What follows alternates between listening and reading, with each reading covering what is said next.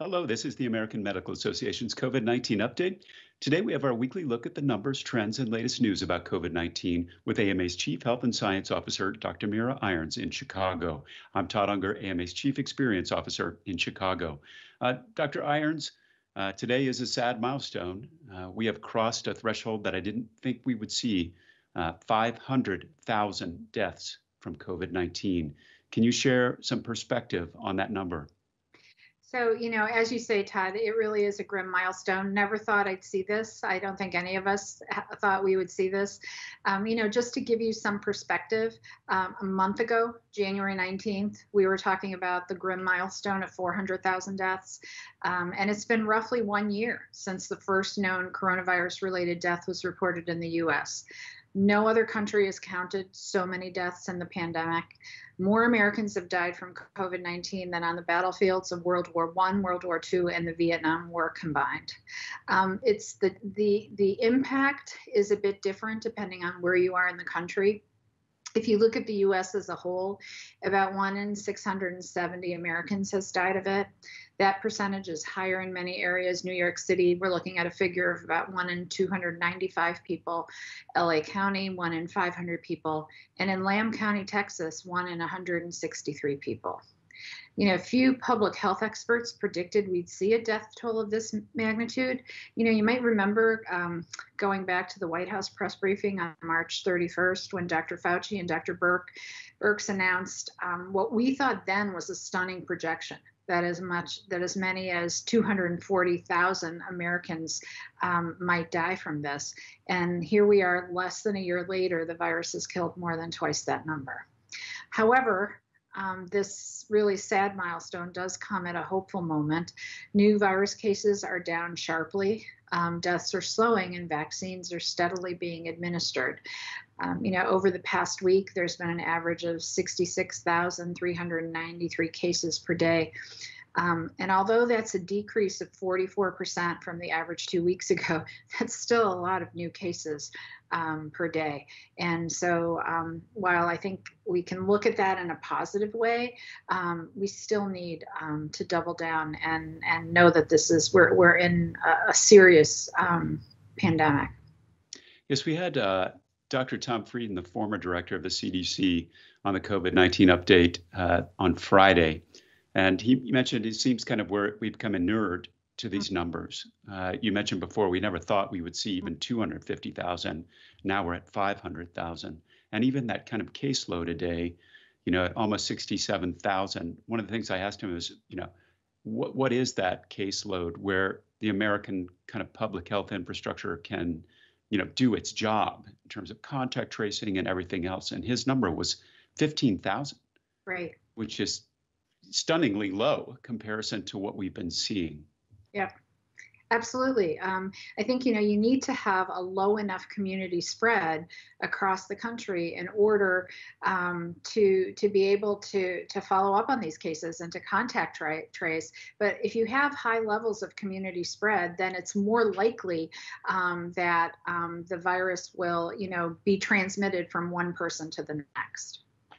Yes, his counsel, when we looked at the positivity rates and the, just a level here in Cook County, uh, where Chicago is, his interpretation was, you know, it's not safe to go, you know, to do all those things or to pull back. Uh, right. So we have to do recognize that even though the numbers have fallen, it's still at an extremely high level. Absolutely. So if, if you look at uh, on a state by state basis, are you seeing kind of any trends emerging on where we are right now?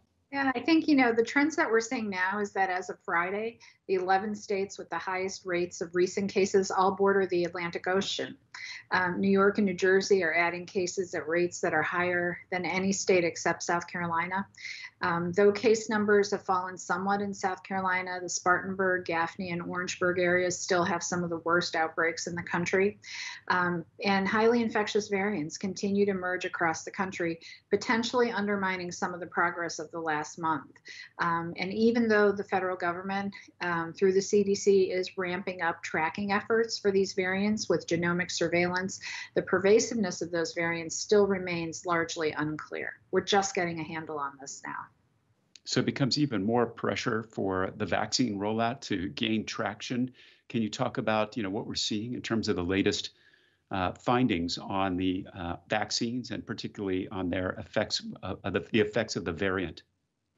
So, um, you know, I think that um, there have a few new studies have come out, and on all of these are on, on preprint servers right now. Um, so there, we haven't, I haven't seen anything peer reviewed that suggests that one shot of a vaccine um, can greatly amplify the antibody levels in those who have recovered from the coronavirus, almost like a booster um, in those that have already had it. Um, and so I think we're going to hear a little more about that um, in the coming months. Um, I can I can say that the the CDC and ACIP have not taken um, taken that up at least uh, publicly. Um, you know, we have heard from both the FDA and the and the CDC that you know the at least the two dose vaccines, you know, the large clinical trials that we have um, have studied two doses, um, so that deviating from that um, without a lot of evidence um, is is still is still difficult, and we'll see where the discussion goes and where the new um, uh, we'll, we'll see, you know, what the peer-reviewed literature shows on this. Um, the um, new vaccine news this week is that the Johnson and Johnson vaccine, which is a single-dose vaccine on an adenoviral vect, uh, platform, um, the is being discussed at the FDA on Friday. The External Advisory Committee is meeting to discuss that application for EUA. The um, uh, the the the documents for that meeting generally become public and are posted on the FDA website two days ahead of time. So we should have more information and, and more data um, that we can review on Wednesday.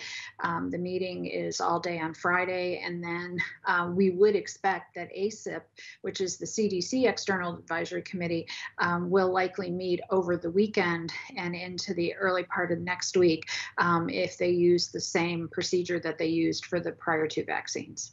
All right. Well, it seemed like our vaccine distribution efforts were uh, mm-hmm. kind of cranking up. We reached levels of about 1.7 million vaccines per week, but then it seems like Mother Nature dealt us a little blow last week. Absolutely. Um, you know, um, as as as if supply is an doesn't continue to be a problem, um, the weather related delays really hit the country hard in terms of distribution. Um, the White House estimated that the weather had created a backlog of 6 million doses. Um, Andy Slavitt, uh, a White House pandemic advisor, said at a news conference on Friday morning that those doses represented about three days worth of shipping delays. Um, and the bad weather, you know, slowed two vaccine shipping hubs, a FedEx center in Memphis and a UPS site in Louisville. Um, and FEMA said that more than 2,000 vaccine sites were in areas with power outages last week. Um, shipping delays were reported in multiple states. Um, obviously, you know, everyone's heard about how, how hard things have been in Texas, um, but in Texas, where millions of residents lost power during the past week's powerful storm, state health officials said that hundreds of thousands of first and second doses that were supposed to be delivered were still waiting to be shipped. Um, so if you look at the numbers this week, the CDC reported on Saturday that more than 61 million doses had been administered, including about 42.8 million people who received at least one dose and about 17.9 million people who have been fully vaccinated. Excellent.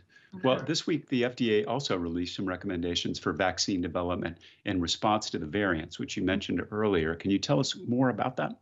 Sure. Um, so on Monday, um, the FDA um, released some information um, to help guide vaccine developers who are developing, who are tweaking their vaccines um, for um, to to better uh, to have better efficacy against future variants. You know, one of the questions that has come up is whether any any change to the vaccines that are currently used will have to go through the same large trials um, that ha- that have gotten us to this point. And what the FDA said was that the developers would not need to conduct lengthy randomized control trials to evaluate vaccines that have been adapted um, to target new variants. So, what the recommendations are calling for are small trials, um, more like what's required for the annual flu vaccine, um, would greatly accelerate the review process at a time when scientists are increasingly becoming anxious about how the variants might slow or reverse progress.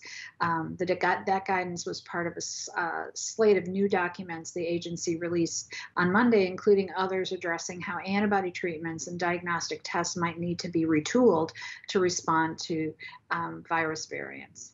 Well, that's good news. I remember when uh, Dr. Paul Offit was on here several weeks ago, we asked him that question about, you know, how long does it take to adjust uh, for these kinds of variants? And he said the actual process of doing that is rather short. It's the production and distribution part that's the hard part. And if you don't have to go back through these large scale tests, that's good news yep. uh, as well. Well, finally, are there any key messages that the AMA uh, would uh, like people to know this week? Uh, there are two. Um, so last Thursday, leading business and nonprofit organizations, including the AMA, launched the Health Action Alliance to strengthen and accelerate the business community's response to COVID 19. Um, this alliance will empower a network of businesses to improve the health of employees and communities by promoting COVID 19 prevention and vaccine education and strengthen public health infrastructure to be better prepared in the future. Um, the alliance will also work to advance health equity by addressing the needs of disproportionately affected communities. And on Sunday, in response to the passing of half a million COVID 19 deaths, the AMA, AHA, and ANA urge the public to continue wearing masks, practicing physical distancing, and washing hands, as well as obtaining a vaccine when the time comes. Um, to read from the statement, in just three months, the the number of Americans who have died of COVID 19 has doubled. We urge you to remain vigilant in taking precautions to limit the spread of COVID 19. With new, more contagious variants of the virus circulating through the US, now's not the time to let your guard down and scale back on the measures that we know will work to prevent further illness and deaths wearing masks, practicing physical distancing, and washing hands. There's also hope for the future as millions of people across the country are getting vaccinated and additional vaccines are on the way. We encourage everyone to get the COVID 19 vaccine when it's your turn.